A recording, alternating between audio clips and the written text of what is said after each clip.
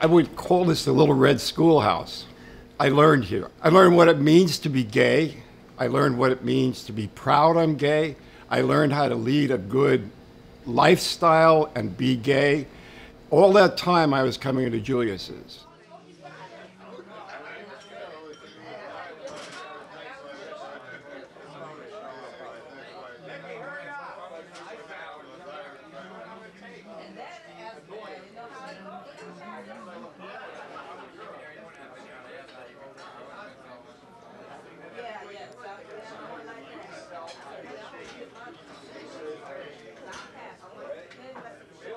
They walk up to the bartender and they say, We are homosexual, we are orderly, and we would like to be served a cocktail.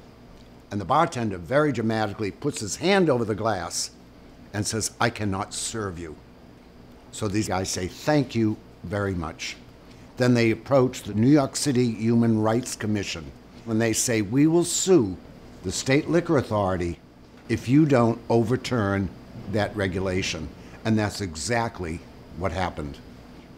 That victory at Julius's enabled gay people, and that's what finally leads to them saying, enough is enough. We're just not going to put up with it anymore.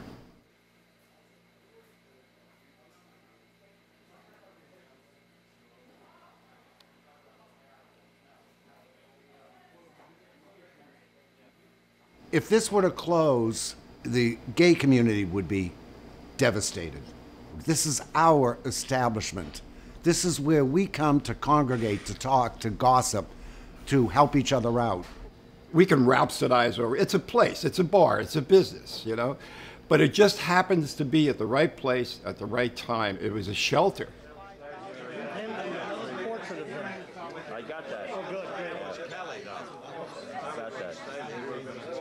Oh,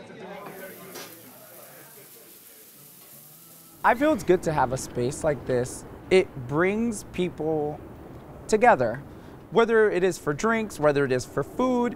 Um, it brings us as a community together.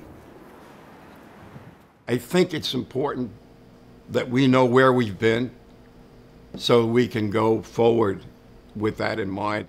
Nothing is given to us. We had to work for it, literally put our bodies on the line to make it happen.